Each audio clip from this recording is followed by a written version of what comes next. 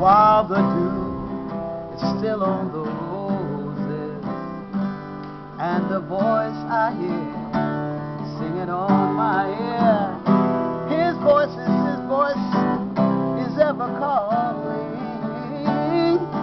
Oh, and he walks with me, Amen.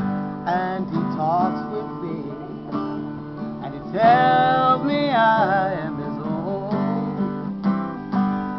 and the joy we share as we journey there, no other has ever known,